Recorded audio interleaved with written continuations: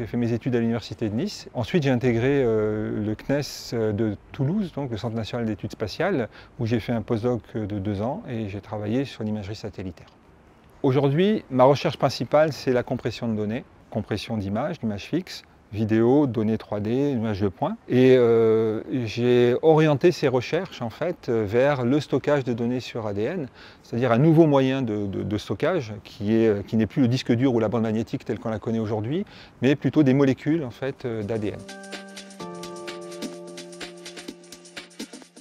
Pourquoi les molécules d'ADN C'est compact, alors on pourrait euh, imaginer stocker euh, euh, dans un gramme d'ADN un centre de données complet, hein, ces fameux data centers.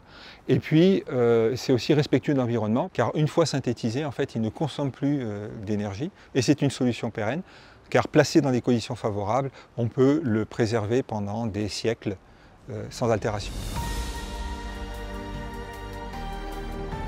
Je travaille depuis 7 ans donc, sur cette problématique de stockage de données sur ADN synthétique. On fait des approches théoriques, mais on fait aussi euh, des réalisations expérimentales, donc des vraies synthèses avec du vrai stockage euh, de données, en collaboration avec d'autres laboratoires du CNRS, euh, notamment des, des biologistes et des chimistes.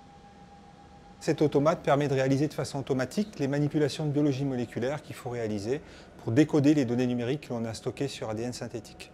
Donc on prévoit à un horizon 10-15 ans d'avoir des systèmes automatiques qui pourront rivaliser avec les systèmes de l'état de l'art actuel, hein, tels que les disques durs ou les bandes magnétiques. Tout au long de mon activité de recherche, j'ai collaboré avec des industriels et j'ai fait du transfert technologique entre les laboratoires de recherche et l'industrie, et notamment avec euh, Orange Labs, avec Thales, avec le CNES de Toulouse. J'ai aussi créé deux startups, donc la première en 2013, Sintu, et la deuxième, Percode, euh, récemment créée en 2022, qui est Grand Prix iLab 2023.